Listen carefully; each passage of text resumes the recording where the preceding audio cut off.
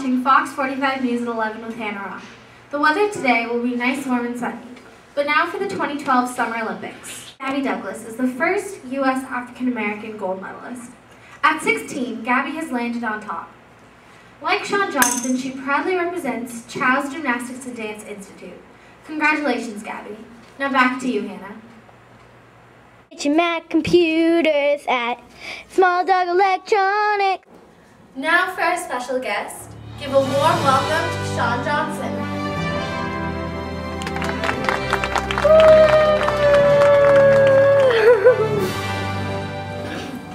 Well, everyone, this is Shawn Johnson, our special guest for today. Shawn, thank you for being here.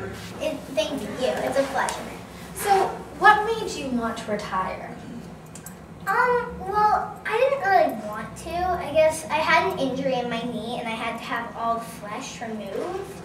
So I basically, if I did gymnastics or if I did hard gymnastics and if I competed in the Olympics again, I wouldn't be able to like walk if I hurt my knee again. And so I guess that was a really a, a big put down, but it's been great. So, how was it watching the 2012 Olympics from the sidelines? Well, it was hard. It'd be much better to be out there, but I loved like cheering the girls on, and they they were an amazing team. So I was really proud of them. That's awesome. So, how many medals have you gotten in Worlds and the Olympics? Okay, so in Worlds, I won gold in all around, girl, gold in team, and gold in floor. I have a pretty strong floor. That's awesome. So, how many in the Olympics? In the, in the Summer Olympics, I won in 2008. I won gold in beam, silver in team, silver in all around, and silver in floor. That's amazing. So, how tall are you? Because I know a lot of like Olymp- Olympians who are gymnasts are on the smaller side. Yeah, I'm on the taller side actually. I'm five foot one. Oh wow! So that's tall for a gymnast. Yeah, it's tall for a gymnast.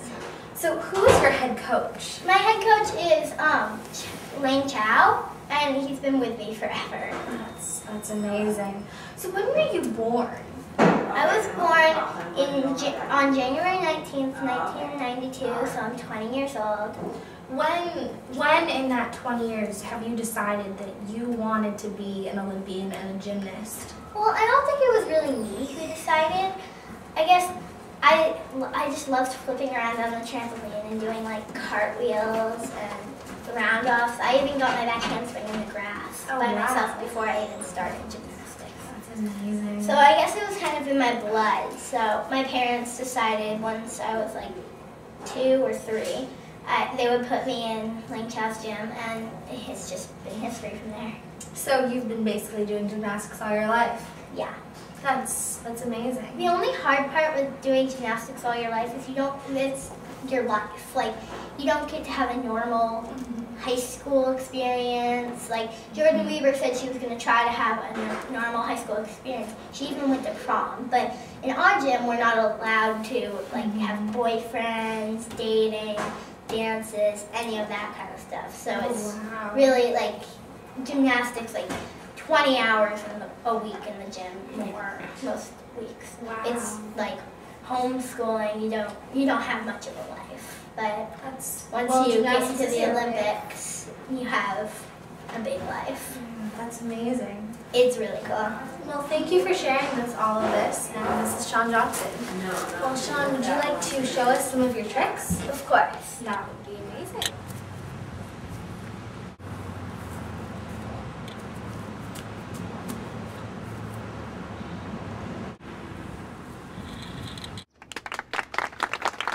Mac computers at Small Dog Electronics. Give a warm welcome to Michael Phelps.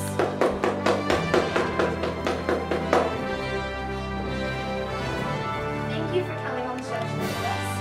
Thank you. Okay, so now, how many gold medals do you have, ar- like your whole career? Not just the Olympics, but your, around your whole career. Um, a little bit more than 63. Wow, that's that's quite a lot. Um, when did you start with your love for swimming?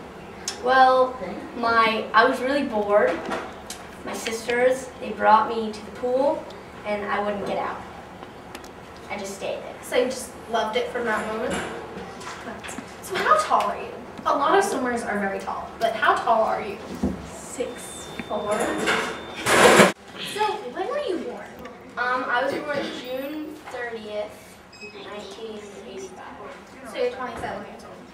So you you found out you wanted to be a swimmer in a very early age, and that's that's lovely. All right, so oh, so what club, like what club, swimming club, were you part of? Um, the North Baltimore Aquatic Club. So you so you lived in Baltimore. No, I lived in Towson. Oh, okay. Um, Michael, what's your middle name? Um, it's I have all these really complex names, and then Fred.